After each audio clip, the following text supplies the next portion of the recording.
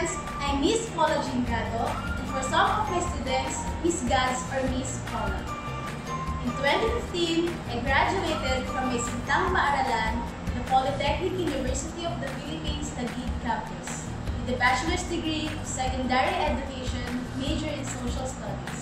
And thank God, I passed the licensure examination for teachers in the same year. For me, being a teacher is more than just a profession. Calling from God, and I never regret answering to that call.